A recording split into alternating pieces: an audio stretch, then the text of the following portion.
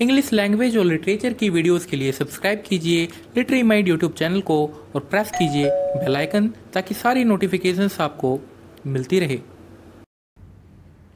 नमस्कार दोस्तों, स्वागत है आपका लिटरी माइंड के इस यूट्यूब चैनल पे। दोस्तों, आज बहुत ही इंटरेस्टिंग स्टोरी के बारे में बात करेंगे। नाम है द फाइन बैलेंस लिखा किन के द्वारा गया है? रोहिंटन मिस्ट्री के द्वारा। दोस्तों, ये वीडियो बहुत ही ज़्यादा हेल्पफुल होगी अगर आप एक इंग्लिश ऑनर्स के स्टूडेंट हो। और आपके सिलेबस में ये वाला टेक्स्ट है। ये वीडियो बहुत ही ज़्यादा इंपॉर्टेंट होगी आपके एग्जामिनेशन पॉइंट ऑफ़ व्यू से। हर एक वो चीज़ डिस्कस की जाएगी जो कि एग्ज़ाम में पूछा जाता है। सिर्फ़ डीप समरी नहीं बताई जाएगी। इसके अलावा भी बहुत कुछ है जो कि बताया जाएगा स्टोरी में। क्या क्या है जो मैं प्रेजेंट करूँगा इस वीडियो में? कैरेक्टर्स की थोरो नॉलेज ठीक है? कैरेक्टर्स के बारे में अच्छे से, ताकि आपको कैरेक्टर स्केच अगर पूछ लिया जाए एग्ज़ाम में तो कोई दिक्कत ना हो। दूसरा डीप समरी तो ऑलरेडी बताया मैंने। बैकग्राउंड टॉपिक्स के बारे में डिस्कस करेंगे और थीम्स के बारे में। बैकग्राउंड टॉपिक में क्या क्या डिस्कस होगा वो भी जान लो, ताकि आपको पता चल जाए कि वीडियो कितनी ज़्यादा हेल्पफुल होने वाली है। 1947 से जब इंडिया आज़ाद हुआ था, उस टाइम की भी बात करेंगे, वो वाला बैकग्राउंड लिंक होगा, जब इंडिया में कास्टिसिज्म की प्रॉब्लम थी कास्ट डिस्क्रिमिनेशन की। इसके अलावा बात करेंगे हम 1975 से 77 के बीच में इंटरनल इमरजेंसी के बारे में, जिसे इम्पोज कर दिया गया था, ज़बरदस्ती इंदिरा गांधी के द्वारा। ठीक है? तो ये दो दोनों टॉपिक लिंक होंगे। उसके बाद 1984 का आपका जो सिख राइट्स है, उनके बारे में भी डिस्कस करेंगे हम। ठीक है? तो ये अब लिटरेचर हुआ बहुत आसान। अगर आपको हर एक वीडियो की नोटिफिकेशन चाहिए, या फिर आपको एग्जामिनेशन पॉइंट ऑफ़ व्यू से पी चाहिए क्रिटिकल एसेस चाहिए तो आप डायरेक्टली टेलीग्राम ऐप डाउनलोड कीजिए और सर्च कीजिए लिटरी माइंड यूट्यूब और इसके बाद बहुत सारे पी आपको मिलेंगे यहाँ पे। स्टोरी समझने से पहले आपको पता होना चाहिए करेक्टर्स के बारे में। तो ये मैंने चार करेक्टर्स मेजर करेक्टर्स जो हैं, वो मैंने यहाँ पे लिखे हैं। आपको दिख गए चार मेजर करेक्टर्स कौन कौन से हैं? ओम प्रकाश, ईश्वर, मानिक और दीना दयाल स्टोरी स्टार्ट करने से पहले मैं बता दूँ कि मैं स्टोरी को बहुत ही अच्छे तरीके से प्रेजेंट करूँगा, क्योंकि आप वीडियो किस लिए देखने आए हो? क्योंकि आपको ओरिजिनल टेक्स्ट या फिर तो समझ नहीं आया, या फिर आपके पास टाइम उतना नहीं है कि आप ओरिजिनल टेक्स्ट पढ़ पाओ। ठीक है? तो अगर मैं स्टोरी की बात करूँ तो स्टोरी जो है ना, सफल हो रही है। कभी प्रेजेंट में स्टोरी घूम रही है, कभी फिर पास्ट में जा रही है, फिर प्रेजेंट में घूम रही है, फिर पास्ट में जा रही है, इस टाइप से सफलिंग है स्टोरी में। तो आपको हर एक मेजर करेक्टर्स जो है ये चार, इनके पास्ट के बारे में पहले पता होना चाहिए। तो स्टार्ट करें। स्टार्ट करते हैं दीना दयाल से। ठीक है? दीना दयाल के जो फादर थे, वो एक डॉक्टर थे, और ये चाहती थी कि मैं डॉक्टर बनूं बट इनकी फादर की डेथ हो गई। ठीक है? अब दीना दयाल डिपेंडेंट हो गई अपने भाई नुस्वान पे। ठीक है? मदर तो कुछ कर नहीं सकती था ना इनके लिए। नुस्वान भाई बड़ा है तो यही करेगा। तो नुस्वान पे डिपेंडेंट हो गई। अब बात आती है कि नुस्वान भी कितना करे। तो लास्ट में इन्होंने इसकी पढ़ाई लिखाई सब कुछ छुटवा दिया कि भाई तुम घर बैठ जाओ, तुम खाना बनाओ कुकिंग करो, यानी कि अब्यूजिंग टाइप में domestic abuse you can say ठीक है? इस टाइप से इसके साथ होने लगा किसके साथ दीना दयाल के साथ। तो इसकी जो होप थी ना कि मैं डॉक्टर बनूँगी बड़ा बड़ा कुछ करूँगी, ये मिट्टी में मिल गई। और आगे जाके और बुरा हाल होगा इसका देखना अभी स्टोरी में, ठीक है? ये आपने पास्ट के बारे में जाना है, किसके? दीना दयाल के बारे में। अब दीना दयाल की जो है शादी करवा देता है नुस्वान। ऑलरेडी इसकी भी शादी हो गई होती है, अब नुस्वान जो है इसकी शादी करवा देता है ताकि ये सेटल हो जाए अच्छे से। लेकिन शादी के साल, शादी शादी के तीन साल बाद ही जस्ट इनके हस्बैंड की भी डेथ हो जाती है। यानी कि वही बात हो गई कि इसको सेटल करने के लिए तो एक तो इसके इसके मैरिज करवा दी बट स्टिल ये फिर से डिपेंडेंट होने के कगार पे आ गई। तो अब इसके पास दो चॉइस हैं। इसके, इनके जो हस्बैंड की डेथ डेथ हुई थी, वो साइकिल पे जाते वक्त हुई थी रोड पे, ठीक है? अब इनके पास दो चॉइस हैं, या फिर तो ये अपने खुद के पैरों पे खड़ी हो जाए। दूसरा, भाई के पास रहे। तो भाई के पास रहना तो मंजूर नहीं था, क्योंकि भाई जो है अब्यूजिव था। तो दूसरा इसने प्लान चुना वही कि अपने पैरों पे खड़े होंगे। तो उसने जो है एक अपार्टमेंट लिया बॉम्बे में, और वहाँ पे उसने टेलरिंग का काम स्टार्ट किया। लगभग 20 साल तक इसने जो है टेलरिंग करी, एम्ब्रॉयडरी का काम इसने करा बट अब इसकी आँखें जो है जवाब देने लगी थी। क्यों? आँखों की रोशनी कम होने लगी थी। अब ये एक मिडल एज्ड वीमेन बन चुकी है। ठीक है? इतनी बात समझ आई? ठीक है? अब इनके अपार्टमेंट में ये दो, ये तीनों लोग रहने आते हैं। कौन? ओम प्रकाश, ईश्वर और मानेक। हम जान लेते हैं ओम प्रकाश और ईश्वर के बारे में। ईश्वर जो है, ओम प्रकाश का चाचा है और आप ऐसे समझ लो कि इसका चाचा ये है और चाचा अगर है तो ये भतीजा है ऑफ़ कोर्स ठीक है। अब इनके पास्ट के बारे में जानते हैं तो आपको बता दूँ, ओम प्रकाश, ईश्वर, दुखी और आपका नारायण, ये सारे जो है नीची कास्ट के लोग हैं और इनको स्टोरी में बताया गया है कि ये चमार हैं जो कि चमड़ों का काम करते हैं लेदर का काम करते हैं, ठीक है। और ये तक बताया गया स्टोरी में कि ये अपने काम को छोड़ नहीं सकते। क्यों नहीं छोड़ सकते? दबाव है। कहाँ का? ऊपर के, जो भी ऊपर क्लास के लोग थे, उनका दबाव था कि भाई तुम ये काम छोड़ नहीं सकते। तुम्हें मंदिरों में प्रवेश करने नहीं दिया जाएगा, यानी कि कास्ट डिस्क्रिमिनेशन वाली प्रॉब्लम जो है उभर के आएगी, वो भी मैं बताऊँगा आपको स्टोरी में। तो फ़िलहाल क्या है कि अब बात करते हैं दुखी की तो दुखी के दो बच्चे थे, ईश्वर और नारायण, ठीक है? अब इन्होंने शादी कर ली तो इनका एक बच्चा पैदा हुआ लड़का था, ओम प्रकाश नाम से। तो इसलिए ये भतीजा हो गया, क्योंकि ये तो इन्हीं के भाई हैं, नारायण के भाई हैं तो ये भतीजा हो गया ओम प्रकाश, ठीक है? अब नारायण, ये दुखी दुखी चाहता था कि मैं, मैंने लाइफ लॉन्ग जो है कॉबलर का काम किया है, मोची का काम किया है कॉबलर इन द सेंस चमड़े का काम किया है, चमार हूँ मैं। तो मैं अपने बेटों को एटलीस्ट थोड़ा सा जो है, ऊँची कास्ट वाला काम सिखाऊं। तो इन्होंने जो है अपने बेटे को टेलरिंग का काम सिखाया। किस किस को सिखाया? ईश्वर ओम प्रकाश मतलब बेटे क्यों नारायण को और इसको सिखाया, ईश्वर को टेलरिंग का काम। ठीक है? अब दिक्कत ये हुई कि ये जो गाँव का ठाकुर है ना इसने तो टेलरिंग का काम सिखा दिया अपने बच्चे को। लेकिन ठाकुर को ये बात पसंद नहीं आई क्योंकि ये एक ऊपर कास्ट का व्यक्ति है। इसने सोचा कि तेरी हिम्मत कैसे हुई अपने बेटे को टेलर बनाने की? तो आप देख सकते हो कितनी बड़ी प्रॉब्लम है यहाँ पे, ठीक है? मतलब आप पर्सनल लिबर्टी है ही नहीं पर्सनल लिबर्टी नाम की चीज़। तो इसने जो है इसके बेटे को मरवा दिया नारायण को और इसको, और इसके पूरे परिवार को ज़िंदा जला दिया, ज़िंदा, समझ रहे हो? ज़िंदा जला दिया उसको पेड़ पेड़ से टांग के फांसी चढ़ा दी इसको, नारायण को। इस बंदे ने। तो ये बहुत ही पॉलिटिकल गून समझ लो, गुंडा टाइप का ये अपने गाँव का। ठीक है? जहाँ पे ये सारे रहते थे। कौन कौन नारायण ईश्वर ओम प्रकाश और आपका दुखी। ठीक है? ठाकुर वहाँ पे गुंडा टाइप का इंसान है। अब बात करते हैं, हमने इनके पास्ट के बारे में जान लिया। अब जो है प्रेजेंट की अगर बात करें तो ये प्रेजेंट में कर क्या रहे हैं? अब सिंस इसके फादर की तो डेथ हो चुकी है ओम प्रकाश के फादर तो ये थे ना नारायण, इनकी डेथ हो चुकी है। तो अब ये दोनों जो है बाहर निकल चुके हैं, बॉम्बे बॉम्बे बाहर निकल चुके हैं। कमाने के लिए, क्योंकि अब गाँव में कुछ बचा नहीं है, इनका, इनके फादर की डेथ हो गई, दुखी के पूरे परिवार को ही जला दिया गया, क्योंकि इसके तो इसके तो पापा थे दुखी तो इसके तो पूरे परिवार को ही जला दिया तो अब बचा ही क्या इनका? तो ये चले जाते हैं कहाँ? ये चले जाते हैं बॉम्बे कमाने के लिए। बाय फॉल्ट क्या है? इनको जो रहना पड़ता है, बॉम्बे में एक स्लम टाइप में रहना पड़ता है। बाद में ये फिर जो है दीना दयाल के घर पे ही आ जाते हैं अपार्टमेंट में और फिर इनको रेंट पे करते हैं। अभी लिंक करूँगा, आप टेंशन मत लो। अब बात कर लेते हैं मानिक के बारे में। तो मानिक जो है कश्मीरी लड़का है जो कि पढ़ने में बहुत तेज़ी था मतलब ऐसे समझ लो पढ़ने में तेज था और अपने फादर के बारे में बताता कि इसके फादर को जो है अच्छी खासी कोला बनाने की, कोला कोई कुछ चीज़ होगी, उसकी नॉलेज थी। पर अब जो है इंडस्ट्रियलाइजेशन आने के कारण क्या है, इसके फादर की भी जो हाथ की कारीगिरी थी, उसकी कोई कीमत नहीं बची अब, ठीक है? कोई कीमत नहीं बची, यानी इन द सेंस मतलब इसके फादर जो है बेरोजगार होने लगे बट स्टिल इसके फादर चाहते थे कि माने को मैं बहुत पढ़ाऊँ, लिखाऊँ। ये भी पढ़ा लिखा था बहुत ज़्यादा, ठीक है? इसके फादर भी चाहते थे माने के फादर कि बहुत पढ़ाऊँ, लिखाऊँ, और माने के फादर माने के फादर दीना दयाल के हस्बैंड के दोस्त थे, ठीक है? तो अब मानिक जो है पढ़ाई पूरी करने के लिए रेफ्रिजरेशन का कोई कोर्स करना था इसको रेफ्रिजरेशन का तो वो दीना दयाल के अपार्टमेंट में रहने लगता है। इससे पहले ये हॉस्टल में रहता था बट हॉस्टल में उसको मन नहीं लगा तो ये दीना दयाल के अपार्टमेंट में रहने लगा।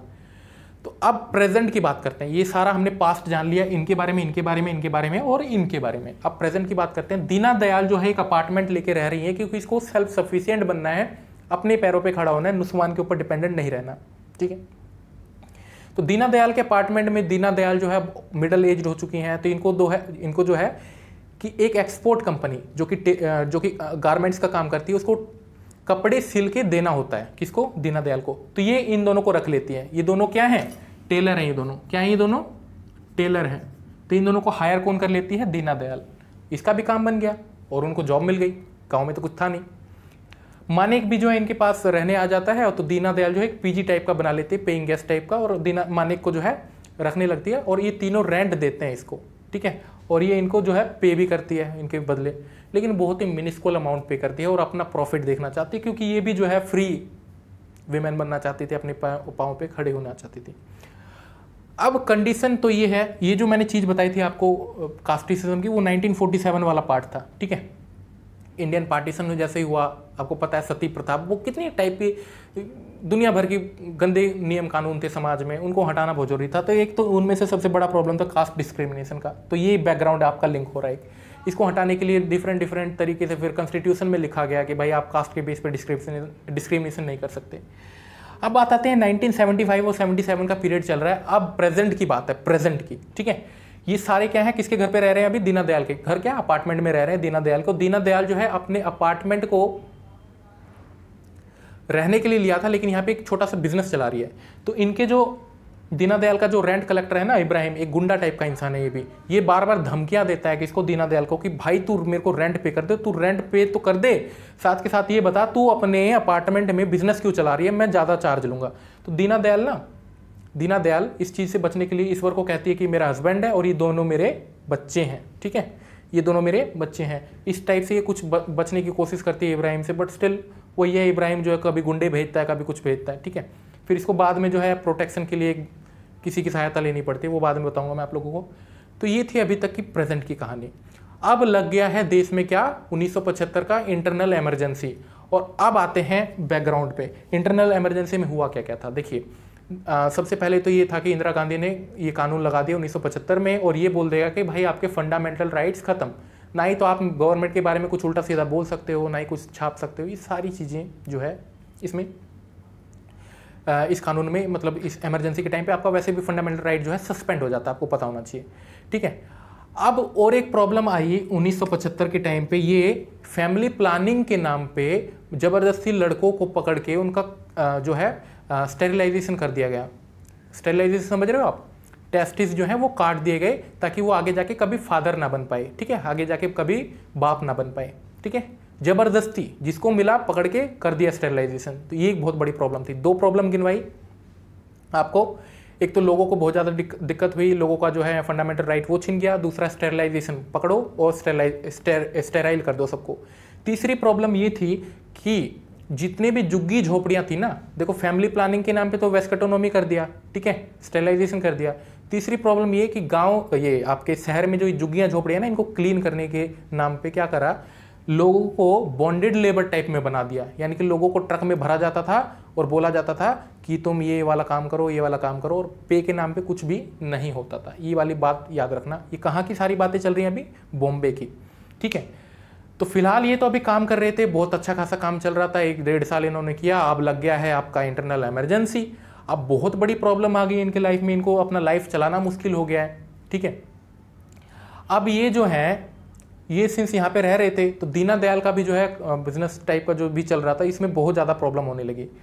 और बहुत ज़्यादा प्रॉब्लम होने लगी। अब जो है, ओम प्रकाश और ओम प्रकाश और ईश्वर ये चाहते थे इसी बीच में कि वो अपने गाँव चले जाएँ, ठीक है? इसी बीच में वो चाहते थे कि गाँव चले जाएँ बट होता क्या है, इनको वहाँ की स्टेट पुलिस के द्वारा पकड़ लिया जाता है और दीना दयाल का जो अपार्टमेंट होता है ना सिटी को ब्यूटीफाई करने के नाम पे इनके घरों को जो है बुलडोजर चलवा दिया जाता है, यानी कि जितनी भी जुग्गियाँ झोपड़ियाँ थी उनको तहस नहस कर दिया जाता है गवर्नमेंट के द्वारा।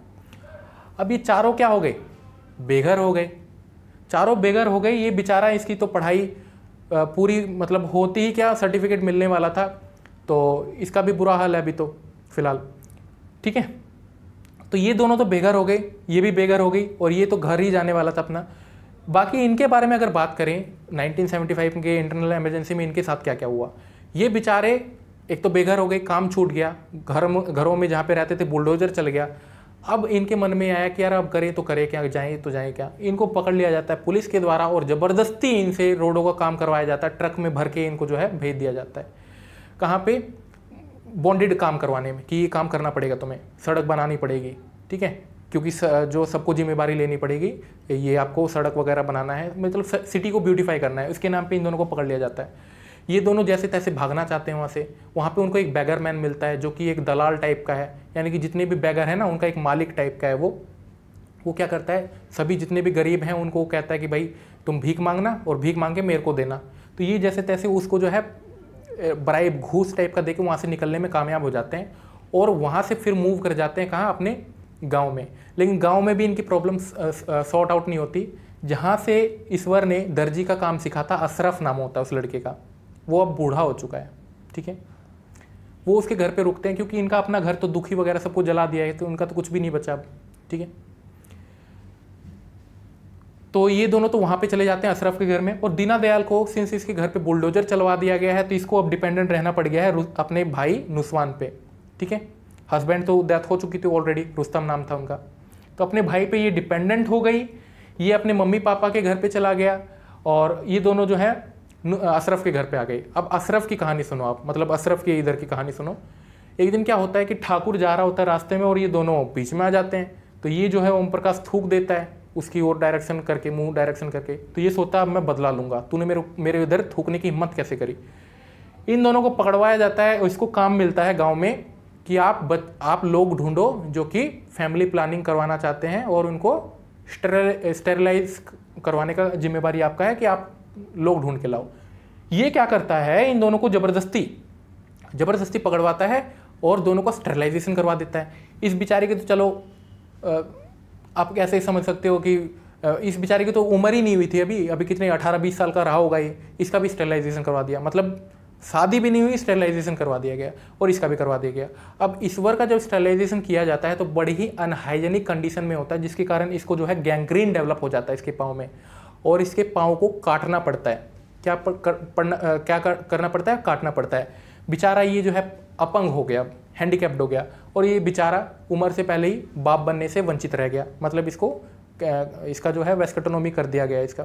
ठीक है? तो ये दोनों इनके साथ हो गया। ये बेचारे डिपेंडेंट हो गए अपने भाई पे। ये बेचारा जो मानेक था ये ऑलरेडी बहुत नाखुश था अपने कॉलेज की ज़िंदगी से क्योंकि रैगिंग होता था वहाँ पे। अब बेचारा जब बुलडोजर वगैरह चले शहरों में तो ये भी अपने मम्मी पापा के वहाँ पे चला गया था। और इसकी जब एक चीज़ और है, इसकी दोस्ती ना कॉलेज में अविनाश नाम के लड़के के साथ थी। अविनाश इसको बहुत अच्छे से गाइड करता था। ये कॉलेज का प्रेसिडेंट था, ठीक है? इलेक्शन होते हैं ना कॉलेज में N S U I A B B P इस टाइप से प्रेसिडेंट था। बाद में क्या हुआ? प्रेसिडेंट के इसी पॉलिटिक्स के चक्कर में इसको जो है मार दिया जाता है और मानिक बहुत ज़्यादा दुखी होता है इस चीज़ से कि यार दोस्त को मार देगा। बट फिर भी केयर नहीं करता इतनी ज़्यादा, क्योंकि ये सोचता है यार मेरे तो इंटरेस्ट से बाहर था ये पॉलिटिक्स वगैरह। ठीक है? इसकी अविनाश की जितनी भी बहनें होती हैं, वो सारी सुसाइड कर लेते हैं, क्योंकि अविना, अविनाश ही था इनका, इनकी बहनों का मेन वो सोर्स अब इनकी बहनों को ये डर है कि हमारी शादी करवाएगा कौन? क्योंकि अब तो डॉरी चाहिए बहुत ज़्यादा तो इनकी बहनें सारी सुसाइड कर लेते हैं अविनाश की बहन. ठीक है? ये तो आपको, ये आपका सारा कुछ हो गया इसका प्रेजेंट का. अब ये जब, अब अब ये सारा कुछ था, फ़िलहाल ये यहाँ पे रह रही है, इन दोनों का ऐसा हो गया है. अब आती है बात 1984 के आसपास की टाइम की बात है। बहुत कुछ बीत चुका है। 1975 का साल बीत चुका है लगभग। मानेक बीच में चला गया था कहाँ? दुबई काम करने, क्योंकि इसकी जो है जॉब लग गई थी अच्छी खासी जगह, ठीक है? उन्नीस सौ चौरासी में वापस आता है, देखता है इंडिया में तो सब कुछ बेकार हो गया है, ठीक है? बहुत बुरी बुरी खबरें सुनता है। इंदिरा गांधी की असैसिनेशन हत्या हो गई है, सिख दंगों के कारण। उसके बाद ये देखता है कि चलो कुछ नहीं तो अपने मम्मी पापा के पास जब जाता है तो देखता है मेरे फादर की तो डेथ हो गई है। तो उनके अंतिम संस्कार में ये पार्ट लेता है, जो भी करता है। ये सोचता है, चलो यार, बुरी बुरी खबरें मिल रही हैं। दीना दयाल से ही बात करता हूँ, अगर कुछ अच्छी खबर मिल जाए। तो दीना दयाल का तो जब ये देखता है तो और बुरा हाल है। ये तो अपने बुलडोजर वगैरह चल गया था घर में, ये तो और ज़्यादा बुरा हाल है। अपने भाई पे डिपेंडेंट होने लगी है। फिर दीना दयाल से इनके बारे में पता चलता है, क्योंकि देखो, ये दोनों क्या है? एक तो एक का तो स्टेरलाइजेशन करवा दिया गया, एक अपंग हो गया है। अब गाँव में जब ये अशरफ के घर में रह रहे थे ना तो अशरफ की भी डेथ हो चुकी है और अशरफ के, अशरफ की डेथ हो चुकी है और अशरफ के जो दामाद थे उन्होंने वो वाला घर बेच दिया। तो ये दोनों तो वहाँ से मतलब सिटी से तो भागे भागे, गाँव से भी इनको भागना पड़ गया।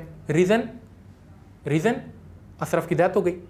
वापस इनको सिटी में आना पड़ा और ये दोनों फिर से जो है एक बैगर बन गए, एक ट्रॉली ट्रॉली होती है ना ट्रॉली चक्के वाली ट्रॉली, उसमें इसको बिठा दिया गया ईश्वर को और ओम प्रकाश एक रस्सी से खींच खींच, खींचता और ये बेचारा भीख मांगते मतलब ये दोनों भीख मांग के अपना काम चला रहे थे। तो मानिक भी गुजर रहा होता है, ये दोनों भी गुजर रहे होते हैं तो ये ये कुछ, ये दोनों मांगते हैं शायद साहब करके तो मानिक उनको पहचान नहीं पाता, ठीक है? दीन दया, दीना दयाल के पास जो है मानिक जाता है, पूछता है कि क्या क्या हुआ तो देखता है यार दीना दयाल की तो ऑलरेडी हालत ख़राब है, अपने भाई के ऊपर डिपेंडेंट है दूसरी चीज़ इनके बारे में अगर पूछता है कि हम चारों तो अच्छे खासे से, अच्छे खासे तरीके से रह रहे थे तो अब हमारा क्या हुआ? तो ये फाइंड करता है कि यार, इन दोनों, ये दोनों तो भिखारी बन गए हैं, भीख मांग रहे हैं सड़कों पर इतनी ज़्यादा बुरी खबरें सुन के इसका दिमाग जो है वो ख़राब हो जाता है। उसके बाद ये क्या करता है? वापस जब अपने घर लौट रहा होता है ना, घर लौटते लौटते ट्रेन ट्रेन में ही होता है। तो एक एक्सप्रेस ट्रेन आ रही होती है साइड से, वहाँ जाके ये जंप कर देता है सुसाइड कर लेता है। इतनी बुरी खबरें सुन के कि मेरे जिन दोस्तों के साथ मैं रह रहा था, उन्होंने सुसाइड कर लिया दीना दयाल की ये हालत ख़राब है। अब मेरे दोस्त अविनाश की सभी परिवार को बर्बाद कर दिया गया और इस टाइप से ये सारा कुछ जो है स्टोरी फिर यहाँ पे फिनिश हो जाती है। तो ये पूरी स्टोरी थी दोस्तों, बहुत ही डीप तरीके से मैंने आपको बताई। अब बात कर लेते हैं हम 1947 का इंडियन पार्टीशन मैंने आपको ऑलरेडी बताया कि भाई बहुत ज़्यादा प्रॉब्लम थी। किस चीज़ की प्रॉब्लम कास्टिसिज्म की। 1975 से 77 में आपको गिनवा दिया मैंने क्या क्या?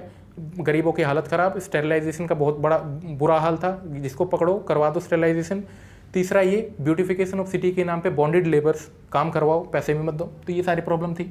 तो करेक्टर्स हमने देख लिया डीप समरी देख ली बैकग्राउंड बता दिया। अब आ जाते हैं थीम्स पे। थीम्स पे आते हैं थीम्स को डिस्कस करते हैं। आई थिंक आपको दिख रहा होगा इतना पार्ट अब बात करता हूँ मैं थीम्स की। तो कॉन्फ्लिक्ट आपको आराम से देखा जा सकता है किस किस के बीच में? फादर सन के बीच में। फादर सन कौन? कौन फादर सन मानिक और उसके पिताजी। क्योंकि मानिक चाहता था कि अब मेरे पापा जो हैं, वो भी इनोवेशन करे, वो भी इंडस्ट्रियलाइजेशन तरीके से कोला बनाए। बट ऐसा नहीं हो पाया। और कास्ट एंड क्लास के बीच में जो है आपको आराम से देखा जाता है देखा जा सकता है। फॉर एग्ज़ाम्पल ठाकुर जो था, वो एक पॉलिटिकल आदमी था। पॉलिटिकल आदमी था, वो अपनी पॉलिटिकल पावर को यूज़ करता था। गाँव में जो वोटिंग होती थी ना खाली पर्चे लिए लिए जाते थे लोगों से और ठप्पा मरवाया जाता था अपने नाम पे कि मेरे को तुम वोट दो ना दो बट तुम बस आओ पेपर लो, ठप्पा मैं मारूँगा, मैं ही जीतूँगा कन्फर्म है, मैं ही जीतूँगा। इस टाइप से ये वाली प्रॉब्लम जो है बहुत ज़्यादा देखी जा सकती थी। जो ऊपर कास्ट के लोग हैं, वो अपने आप को ज़्यादा ऊँचा समझते थे। गरीब जो हैं, उनको तो जो लोअर कास्ट के थे, जैसे ये दुखी का परिवार था, एक लोअर कास्ट में था, चमार था तो उनको एंट्री तक नहीं दी जाती थी, पानी तक नहीं पीने दिया जाता था। बहुत बड़ी प्रॉब्लम है, ये कॉन्फ्लिक्ट आप लिख सकते हो अपनी लैंग्वेज में। मैंने आपको बहुत अच्छे से समझाई वाली स्टोरी पावर एंड पॉलिटिक्स आप देख ही सकते हो भाई, जिसकी लाठी उसकी भैंस, ठीक है? ठाकुर, अगर ओम प्रकाश ने थूक भी दिया था इसकी साइड मुँह करते हुए तो उसने जो है उसके पूरे परिवार को तो एक बर्बाद किया ही किया था ऑलरेडी पास्ट में। ओम प्रकाश के साथ भी जो है, उसके उसके जो फादर मैनहुड था, वही छीन लिया उससे, ठीक है? उसके ईश्वर को जो है हमेशा के लिए एक अपंग बना दिया, भिखारी बना दिया। डायस्पोरा की एक चीज़ आप आराम से थीम देख सकते हो। डायस्पोरा ऑलरेडी रोइंटन मिस्ट्री खुद डबल डिस्प्लेस्ड डायस्पोरिक राइटर हैं, ठीक है? डायस्पोरा क्या होता है? आप जब अपनी जगह से दूसरी जगह जाते हो फॉर एग्ज़ाम्पल ईश्वर और ये दोनों अपनी दूसरी जगह गए थे तो डायस्पोरा बन गए थे वहाँ के सबब सिटी में, ठीक है? और फिर अलग अलग चीज़ें होती हैं। आप डायस्पोरा में आपको फिर याद आएगा कि अपने पास्ट के बारे में याद करते हो कि कितना खुशहाल रहता था मैं। तो ये सारी चीज़ें आराम से आप लिख सकते हो। आइडेंटिटी की क्राइसिस आइडेंटिटी की क्राइसिस सबसे ज़्यादा दीना दयाल में है कि वो अपनी खुद की सेल्फ आइडेंटिटी चाहती है बट नहीं हो पाता, अपने भाई के ऊपर फिर से डिपेंड रहना पड़ेगा इसको। डिस्प्लेसमेंट डिस्प्लेसमेंट होता है अपनी जगह से दूसरी जगह जाना। फॉर एग्ज़ाम्पल गाँव के किनारे जो, नदी के किनारे जो गाँव बसा था, उसको छोड़ के ओम प्रकाश और ईश्वर कहाँ गए थे? समुद्र के किनारे वाले बॉम्बे में। तो डिस्प्लेसमेंट तो आराम से देख ही सकते हो। अब बात आती है होप एंड डिस्पेयर की। बहुत इंपॉर्टेंट है होप एंड डिस्पेयर हमेशा इंसान जो है होप रखता है, लेकिन वो टूट जाता है। ठीक है? कई बार सफल हो जाता है, कई बार टूट जाता है। तो होप एंड डिस्पेयर आप आराम से देख सकते हो, हर एक करेक्टर में होप एंड डिस्पेयर है। ओम प्रकाश ले लो, वो बहुत पढ़ा लिखा था, कुछ करना चाहता था। मानिक ले लो, पढ़ा लिखा था, कुछ करना चाहता था। मानिक के पिताजी ले लो दीना दयाल ले लो डॉक्टर बनना चाहती थी but everything has just been collapsed every one has turn into just a kind of you can see sand मिट्टी बन गए, रह गए सब यहाँ पे and at the end of the story तो ये कुछ था अब आते हैं, बात करते हैं आप लोगों के बीच थोड़ा सा अप्रोप्रिएट टाइटल के बारे में द फाइन बैलेंस क्या टाइटल अप्रोप्रिएट है? जो, जी हाँ बिल्कुल। आप लाइफ में क्या करते हो? अपनी लाइफ को बैलेंस करते हो ना? फॉर एग्ज़ाम्पल जब कुछ बुरा हो रहा है तो आप उसे संभालने की कोशिश करते हो।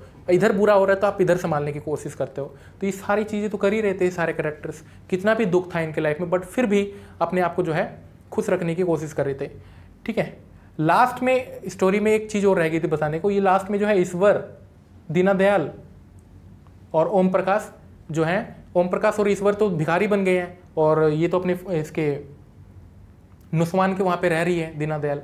तो जब नुस्वान और उसकी वाइफ घर पे नहीं होती थी, ये इन दोनों भिखारियों को मतलब जो भी इनके दोस्त टाइप में समझ लो अब तो भिखारी भी समझ लो तो इन दोनों को बुलाती थी, घर में खाना खिलाती थी। मतलब जब भी ज़रूरत पड़े, इनकी मदद करती थी ये, ठीक है? तो दोस्तों, ये था बहुत ही बेहतरीन ढंग से मैंने सोचा कि आप लोगों को बताया जाए स्टोरी मैं चाहता हूँ कि आप लोग स्टोरी को शेयर करो दूसरे दोस्तों तक, अपने दोस्तों तक, ठीक है? सभी को बताओ। मुझे पता है कि हर एक जगह इतने अच्छे प्रोफेसर्स नहीं हैं। कहीं तो प्रोफेसर्स की भी अवेलेबिलिटी भी नहीं है। कई ऐसे कॉलेजेस हैं, कई ऐसे यूनिवर्सिटीज़ हैं। तो आप क्यों ना मदद करो उन दोस्तों की? मैं भी तो एक मदद कर रहा हूँ। मैं भी, मैं खुद आप लोगों की मदद कर रहा हूँ ना। तो मैं चाहता हूँ आप भी शेयर करो इस वीडियो को। नॉलेज शेयर करने से बढ़ता है, ठीक है? कहते हैं कि सरस्वती के ज्ञान की बड़ी अपूर्व बात जो बांटे तीन तीन बड़े बिन बांटे घट जात, ठीक है? मतलब अगर नहीं बांटोगे तो घट ही जाएगा। तो आप शेयर कीजिए इस वीडियो के बारे में, बताइए उनको कि इस चैनल के थ्रू से बहुत सारी वीडियोस जो है इंग्लिश ऑनर्स की अपलोड की जाती है। नेक्स्ट वीडियो में आपको क्या मिलेगा? नेक्स्ट वीडियो में आपको इंपॉर्टेंट क्वेश्चंस के बारे में बताया जाएगा फाइन बैलेंस के, और होप एंड डिस्पेयर वाली थीम को, और एलोबोरेट करके मैं बताऊँगा, और जितने भी थीम्स होंगे उनको एलोबोरेट करके अलग से बताऊँगा अगली वीडियो में। ठीक है? और भी कुछ मिस हो गया तो आप कमेंट बॉक्स में पिन कर सकते हो मेरे को। फॉलो कीजिए। व्हाट्सएप आप कर सकते हो मेरे को इस नंबर पे। नंबर लिख देता हूँ मैं। Eight three eight three zero one eight four five four four A ठीक है? Eight three eight three zero one eight four five four you can contact me at this number आपको paid notes की भी सुविधा उपलब्ध कराई जा रही है, ठीक है? कोई, अगर कोई चाहता है कि मैं पेड नोट्स लूँ या फिर मेरे से लाइव क्लासेस करें पेड क्लासेस तो वो भी सुविधा उपलब्ध है।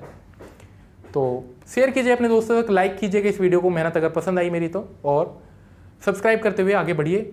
जीवन में आगे बढ़ना है, कभी भी होप रखना है डिस्पेयर कभी मत पालना अपने मन में, ठीक है? मैं मदद करने के लिए हमेशा तैयार हूँ आपके इंग्लिश ऑनर्स कोर्स के लिए। धन्यवाद।